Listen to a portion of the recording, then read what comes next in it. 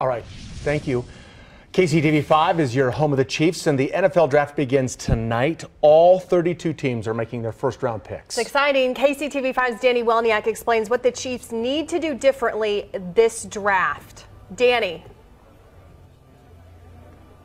Yeah, guys, we're live here at the Chiefs draft party at the Chiefs training complex, and the doors are going to open at 6 o'clock, but as you can see, they're already getting everything ready to go, and then the draft starts at 7 o'clock. Now, the Chiefs and their fans are going to have to wait until that 27th pick, unless, of course, they decide to trade up. But the question is, what are the positions that the Chiefs actually need to address in this year's draft?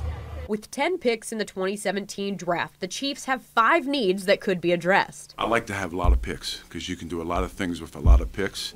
On the offensive side of the ball, they passed on Nick Foles' option, so a backup quarterback and potential future of the franchise could be something to draft higher than usual. Are there some quarterbacks who have enough traits and skills to be developed down the road?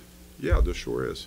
The Chiefs need to look at another running back. Jamaal Charles is gone, so that leaves the Chiefs with Spencer Ware, Charcandrick West, and CJ Spiller in the backfield. On the defensive side of the ball, the Chiefs have selected five cornerbacks in the last four drafts. They hit jackpot with Marcus Peters. A complement to him could be in the works. Why not acquire some more corners? Because this is a league nowadays where you can't have enough of those good cornerback positions. The Chiefs need more depth at inside linebacker, and Dorsey says this is a deep class for edge rushers.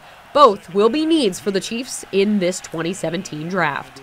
Each one of them has some special traits that could help not only a 4 3 team, but also there's a lot of those 4 3 ends that have actually shown that they have the ability to stand up and play a 3 4 outside linebacker and is athletic enough to drop in space you know, when he's called upon.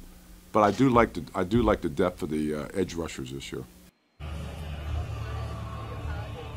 So those are the five needs that I think the Chiefs need to address in this 2017 draft. We're going to be live here from the Chiefs draft party all night long. We're going to have reaction from head coach Andy Reid and John Dorsey after they make that pick in the first round tonight. So stick with us on KCTV5. We will be live at 10 o'clock. For now, live from the Chiefs training complex and the draft party, I'm Danny Welniak, KCTV5 Sports. All right, Danny, we'll check in with you later on tonight. And only on KCTV5 can you win a family fun pack to a Chiefs preseason game. Tune into KCTV5 News this morning tomorrow at 6:15 a.m. and watch for the code WORD. When you see it, head to kctv5.com to enter that word. Enter before midnight tomorrow night. Good luck and go Chiefs.